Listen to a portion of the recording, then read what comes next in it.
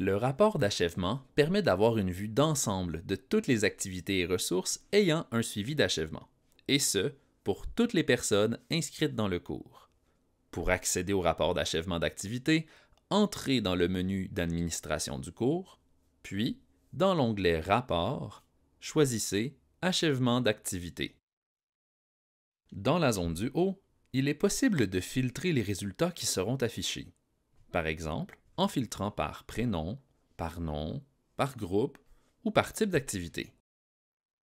Dans le tableau de suivi, vous verrez dans la partie du haut le nom des activités ou des ressources ayant un suivi. Vous pouvez cliquer sur le titre afin d'accéder à l'activité ou la ressource directement. Lorsque la case a une bordure continue, il s'agit d'une activité qui peut être marquée manuellement comme terminée par l'apprenant. Lorsqu'elle a une bordure pointillée, c'est le suivi d'achèvement automatique qui est actif, selon des critères spécifiques.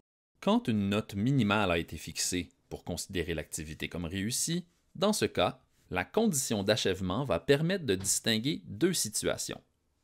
D'abord, l'activité a été faite, mais sans atteindre la note minimale.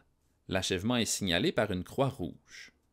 Si l'activité a été faite avec une note supérieure ou égale à la note minimale, elle est donc considérée comme réussie.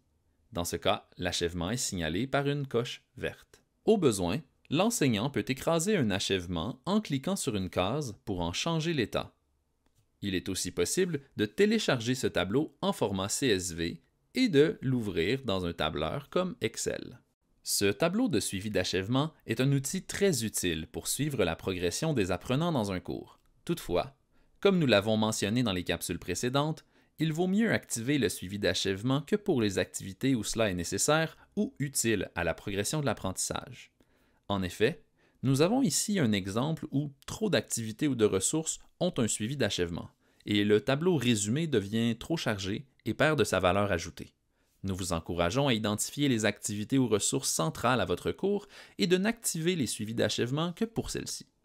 Ou, comme nous le verrons, si vous souhaitez utiliser des restrictions d'accès à du contenu.